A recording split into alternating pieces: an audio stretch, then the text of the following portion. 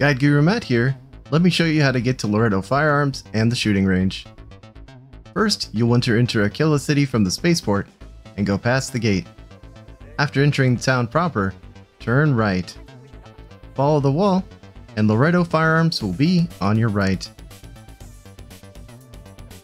Further down the street is the shooting range. The entrance is down this alley. You can test your weapons here.